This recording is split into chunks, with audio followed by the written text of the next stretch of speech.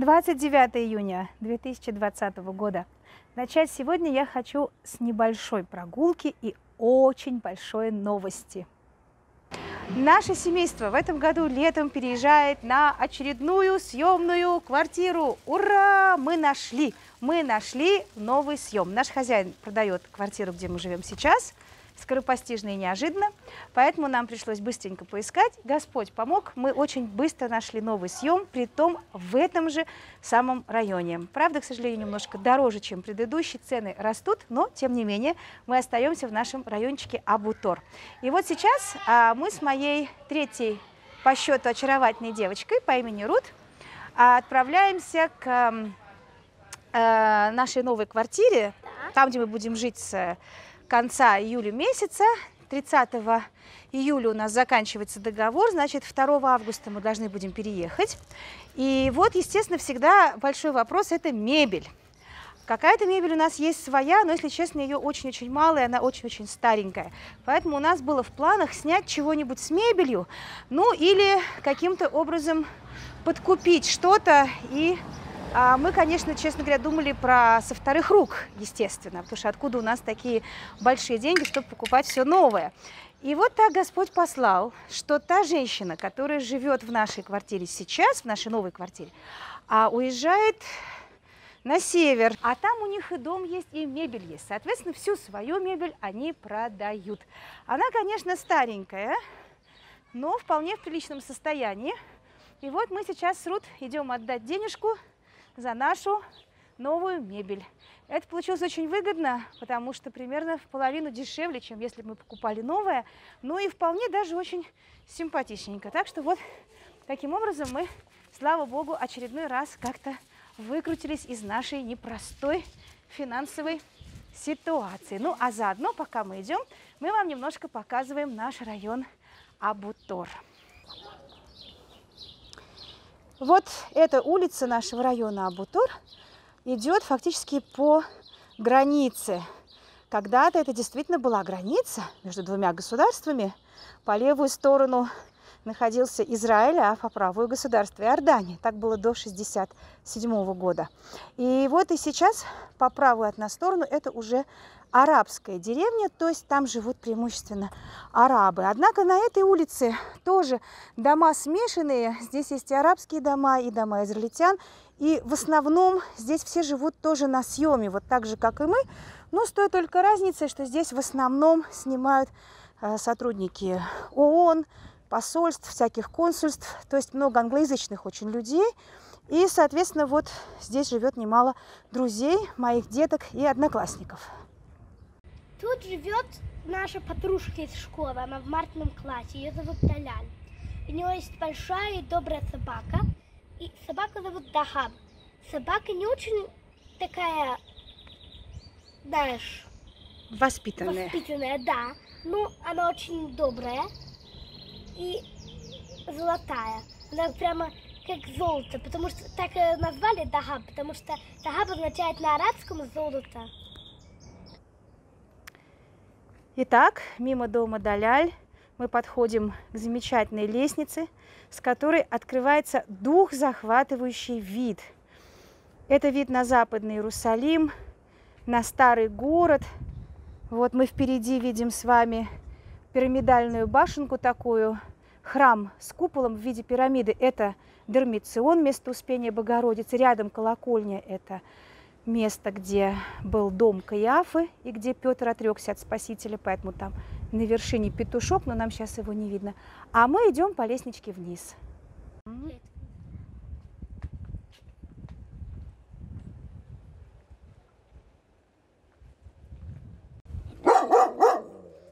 Вот, это знакомая собачка Амига, которая всегда нас облаивает. Тише, расшумелся. Лестница привела нас к улице, которая идет через весь район Абутор, через арабскую деревню, через еврейскую часть района, и выходит она на улицу Дерех-Хеврон, улица, которая соединяет старый город, то есть, по сути, центр города, э, с Вифлеемом. Нам нужно спуститься еще ниже. Мы теперь будем жить в нижней части района Абутор, практически напротив Сиона, так что поэтому продолжаем идти вот по этой очень симпатичной улице. Здесь замечательные сосны по правой стороне. Парк, который мы сейчас вам тоже мельком так покажем немножко. По дороге нам встретились любимые голубые цветочки. Их можно вот так сорвать и вот так прилепить на волосы. Вот так получается между улицами такая замечательная дорожка, хотя сейчас уже все сухое, но все равно ощущение такое немножко лесное. И вот впереди это агава, кактус. Вот так у нас агавы растут при дороге, на пустырях, везде, собственно говоря создают такой очень своеобразный колорит местный, иерусалимский. Можно.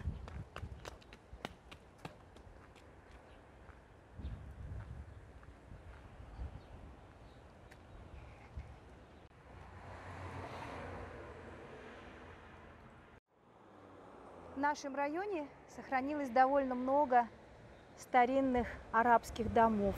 Вот такие дома, построенные полностью из известняка, по старинной еще технологии прошлого века, в нашем климате замечательные, потому что в них очень прохладно летом и тепло зимой. Но, к сожалению, старая канализация, конечно. И если в таком доме квартира еще и отремонтированная, и с новыми всеми там трубами и всем прочим, конечно, это очень-очень дорого будет стоить. Так что мы будем жить в доме более новом и современном. Вот такие у нас местами крутые улицы попадаются. Иерусалим – горное место. И мы уже совсем недалеко от нашего нового дома. Ну вот, мы уже почти подошли к нашему дому, где будет наша новая квартира.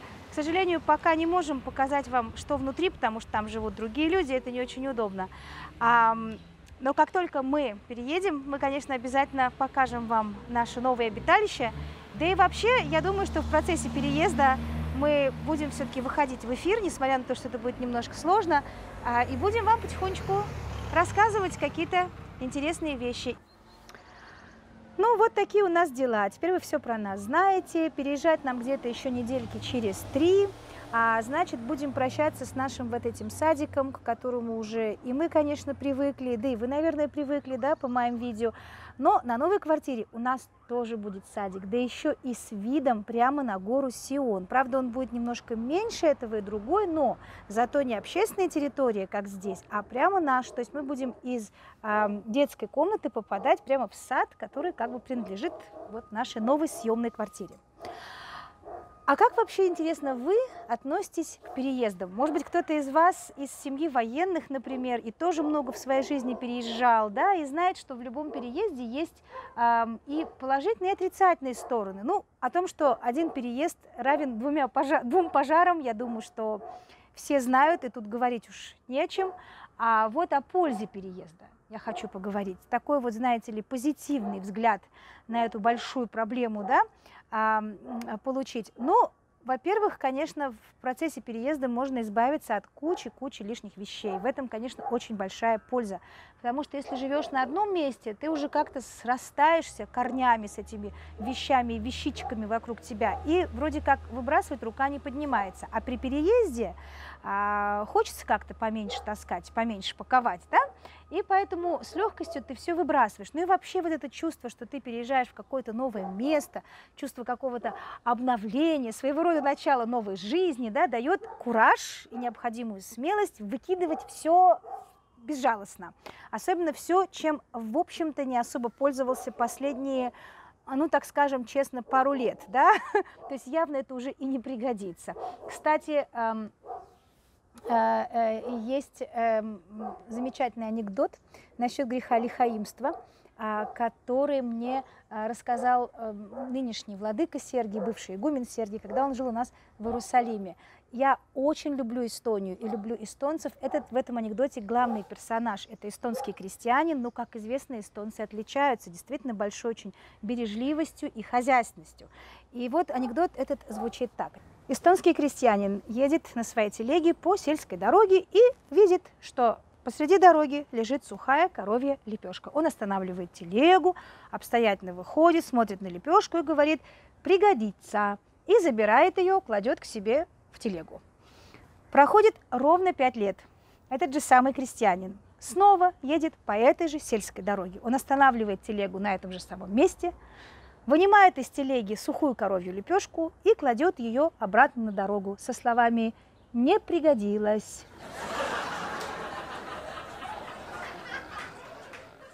Ну вот грехом лихаимства, наверное, все мы страдаем в той или иной степени, да, особенно женщины, особенно хозяйки, которым всегда кажется, ну, может быть, на новой квартире эта вещь пригодится, да, а на самом деле, конечно, собираем всякий мусор, кстати, одежда тоже. Я очень много одежды обычно выкидываю во время переезда, потому что мне довольно много одежды и дарят, и отдают, и, и детям, да, и чаще всего ношеные одежды, но в хорошем еще, так сказать, состоянии. Вообще в Израиле это принято. Мы обмениваемся одеждой, мамы особенно все считают долгом детскую одежду не выбрасывать, а, так сказать, передавать ее с рук на руки, потому что стоит все новое достаточно дорого, и особенно если вещички из хороших магазинов, то, конечно, друг другу все это передается, ну, а очень часто вот именно не пригодилось, и, соответственно, потом надо это выбрасывать, а жалко, а тут переезд, уважительная причина. Кроме этого, а, каждый переезд, лично для моей семьи, это, знаете, такое чудо милости Божией. Вот сколько мы квартир сменили, и уже с э, Рафаилом, да, с детками, наверное, это наш какой пятый переезд получается, да, или шестой, пятый. И с моими родителями до этого тоже несколько квартир сменили. И каждый раз ты удивляешься, как Господь утешает, как Он посылает что-то очень милое, приятное. Вот, например, вспоминаешь свои прошлые съемы, и всегда есть что вспомнить. Вот в той квартире помнишь, какой у нас был милый балкончик? А в той квартире помнишь, какой вид был с балкона? А в такой-то квартире помнишь, у нас какой камин даже был на кухне, э, в столовой? Это мы, когда жили в Рамоте, снимали виллу, одно время еще живы были мои родители, а не в столовой, а в гостиной. В гостиной у нас там был даже настоящий камин, и можно было его прям по-настоящему топить. Мы ходили в лес, собирали, естественно, дрова, э, всякие ветки, и иногда были упавшие деревья, которые вовремя Керен Каемет, это фонд, который должен следить как бы за лесами, не вывозил, и, соответственно, мой муж с топориком ходил, обрубал, и мы топили зимой прям настоящий камин, это было жутко приятно. Э, и вот так в каждой квартире есть что-то такое, за что поблагодарить Бога. Это удивительно, потому что на самом деле ведь ты никогда не знаешь, что ты найдешь в этот раз. Ты каждый раз такой вот как бы, да, э, квест, такой вот сюрприз, такая вот охота, ты не знаешь, что Господь пошлет, какую квартиру. Кроме того, переезды иногда приносят замечательные новые знакомства. Вот о таком совершенно одном судьбоносном, можно сказать, знакомстве, переросшем в большую, долгую дружбу, я хочу рассказать вам сегодня. Это знаменитая уже в нашей семье повесть о холодильнике. Дело было так. Жили мы тогда в э, Пизгадзееве, э, в небольшой такой съемной квартирке. Это еще было задолго до встречи с моим будущим мужем. Мы жили с моими родителями тогда еще. Маленькая трехкомнатная квартирка. Жили мы очень-очень-очень бедно, трудно. Папа тяжело болел тогда, все время лежал в больнице, сердце у него было больное, там еще куча всего. И вот эм, напротив нас, прямо вот через лестничную клетку, квартира напротив, жило семейство, такая женщина по имени Эдна, ее муж, маленький, двое, по-моему, деток, и у нее был домашний э, детский сад, Мишпахтон у нас называется на иврите. И вот каждое утро мы просыпались от тук-тук-тук, шалом, митукат, Доброе утро, привет, сладенькая, проходи. И вот так вот примерно с 7.30 до 8.30.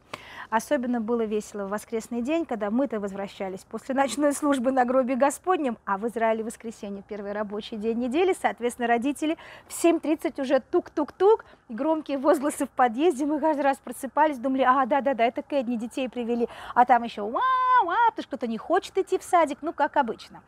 А вот, и, в общем, вот это было так замечательно. И вдруг однажды Эдна постучалась к нам и говорит, а, мой муж работает в Министерстве иностранных дел каким-то там чиновником небольшим, нас, говорит, э, посылают работать на два года в Словакию или Словению, что-то такое. И мы, говорит, уезжаем, я, говорит, квартиру сдаю, но я распродаю мебель, вам ничего не нужно? Мы говорим, да нет, собственно, вот. Она говорит, а холодильник? Я, говорит, продаю холодильник. Тут мы заинтересовались, потому что холодильник у нас, разумеется, был, но он был очень старый, а ее холодильник, э, когда мы на него посмотрели, оказался очень даже симпатичный, приличный на вид и вообще такой чистенький, более новый, чем наш. И цена была очень-очень такая добрая. Мы говорим, слушай, хотим, вот холодильник мы заберем. А холодильник, кстати, который был у нас, это тоже была история очень смешная. Когда мы снимали квартиру, то хозяин нам сказал, «А, только вы, говорит, извините, там на кухне стоит холодильник. Я, говорит, не знаю, чей он, это кто-то из жильцов забыл. Если у вас есть свой, он вам не нужен, но вы тогда грузчиков попросите, вот, чтобы они вам его вынесли. Но вот квартиру я сдаю как есть, вот с этим чужим холодильником а у нас как раз никакого не было. И мы жутко обрадовались. И вот с этим стареньким, потерянным, забытым кем-то холодильником мы благополучно прожили, но он уже совсем был плохой. А тут Эдна со своим белым красавцем. Мы жутко обрадовались, заплатили деньги, она говорит, но Пока, говорит, я же им пользуюсь, этим холодильником, я вот через месяц уеду, а в квартиру придут новые жильцы. Ну вот вы тогда зайдете и заберете. А, собственно, что там забирать? Перекатить его через лестничный пролет, ну, в общем-то, да, не дали, э, через лестничную клетку, простите. Это, собственно говоря, нетрудно и доступно. Мы согласились. Проходит месяц, мы слышим, как там шум у Эдны, вещи носят, выносят, она уезжает. Все, тишина. И через пару дней, значит, заехали новые соседи. Но мы вежливо выждали денька два-три, как бы, ну, дать им немножко расставиться, разложиться как-то, да. И вечерком с моей мамой перешли на ту сторону лестничной клетки и тук-тук-тук. Открывает очень милая такая голубоглазая, приятная женщина, явно русской наружности, скажем так, да, то есть свои своих-то мы, естественно, сразу здесь узнаем. Мы говорим ей шалом, эрифтов, здравствуйте, добрый вечер, вы говорите по-русски? Она говорит, да. Мы говорим, мы ваши соседи, живем напротив. Ой, как приятно, приятно познакомиться, заходите. Мы зашли, а, давайте чайку попьем. А мы говорим, да, ну, собственно, спасибо, конечно, вообще-то мы за холодильником. Она говорит, за каким холодильником? А мы говорим, ну вот Эдна, соседка, она вот когда уезжала, она нам сказала, а, говорит женщина, а мы-то думаем, мы въехали, у нас холодильник свой, тут какой-то холодильник стоит. Мы, говорит, думали, как это так, безобразие какое, нам свой даже некуда поставить. Короче, она им забыла, естественно, об этом сказать. Ой, ну мы посмеялись, э, хозяйку квартиры звали Оля, Ольга говорит, давайте садимся, чайку попьем, да давайте пообщаемся. Короче, засиделись мы до 11 ночи, очень душевно пообщались, э, еще раз посмеялись над всей этой историей с тем, что мы, она даже не знала, что это холодильник, собственно, наш, и решили, э, значит, что мы зайдем через пару дней, ну и будем решать, как его выносить. Через пару дней мы опять зашли, Тетя Оля говорит, о, тут моя дочка пришла как раз из университета, давайте я вас познакомлю. Дочка оказалась почти моя ровесница. В общем, засиделись мы до 11 за чаем, про холодильник мы забыли напрочь. Потом мы решили собраться в пятницу, уже на нашей территории. И мама моя сделала шашлык. Кстати, знаете, самый дешевый и вкусный способ э, жарить мясо на огне, не тратясь там на свинину с говядиной, мы тогда жили очень бедно, это куриные крылья. Это, я вам скажу, вещь. Маринуешь их в майонезе с горчицей или в соевом соусе с силаном или с медом, с солью и чесноком. И потом это дело жарится на мангале. Мангалы в Израиле у всех есть, потому что у нас почти у всех есть или балконы, или какие-то полисаднички, это очень принято, да, то есть это, в принципе, люди делают прямо на балконах обычно, жарят мясо, не надо для этого куда-то выезжать или выходить, прям вот можно в выходной день так вот. И вот, короче говоря, мы такой теплой компанией посидели, потом собрались мы и на следующую неделю, и на после следующую, потом моя мама э, познакомила наших соседей с текилой, YouTube меня сейчас не заметет за рекламу алкогольных напитков, я надеюсь, что нет. Я вам быстро скажу, текила – это вещь, это мексиканская водка из агавы. Употреблять ее надо так, ровно 30 грамм, немножко соли и лимонного сока, можно в чайную ложечку. Берется это в рот и запивается глоточком текилы. Голова ясное, настроение – во. Очень хорошая штука. Короче говоря, о холодильнике речи уже не было. Про него забыли все давно и надолго. Но потом в какой-то момент мы все-таки нашей веселой компании вспомнили, ах да, кстати, холодильник. Ну, решили все, завтра мы себя возьмем в руки и точно вечером идем за холодильником уже на чай, на тортик, на текилу, не соблазняемся. Пришли мы, мужественно дотолкали всеми, так сказать, общими усилиями холодильник до двери кухни. Тут выяснилось, что он, собственно, в кухонную дверь вообще не пролезает. И как его в эту кухню поставили, это вопрос абсолютно, э, да, как бы таинственный и загадочный. Холодильник просто не влезает. Вот никак вынуть его с этой кухни нельзя, только если дверь разобрать. Тут, конечно, мы уже сели, э, чай пить, наверное, так до пол первого, пока мы обсуждали, собственно, а что же теперь делать, да, сопровождая это все еще всякими историями из жизни. В общем, на следующую неделю мы решили обратиться к соседу. У нас внизу жил сосед Сергей с сыном, которые, как мы слышали, вроде бы работают в какой-то компании по перевозкам мебели, что-то такое. Думаем, может, они знают. И действительно пришел Сергей, конечно, тоже сперва чайку попил, познакомились. Заодно, ну как же, сын такой у него был тоже приятный, жена потом его подошла, тоже все чай попили. Вот, и он посмотрел на холодильник и говорит, ну что, говорит, его надо разбирать, надо снимать дверцы, и тогда, в общем, мы как-то попробуем его это.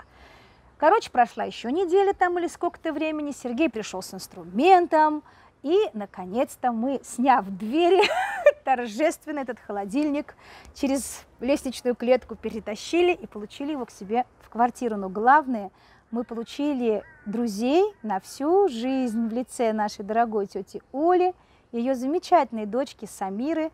А Самира тогда уже встречалась с Леней, потом они поженились, и мы были у них, конечно, на свадьбе, потом у них родился сын Натик – Натанель, и моя мамочка покойная стала его крестной. То есть наше знакомство холодильничное переросло в большую-большую крепкую дружбу на много-много лет.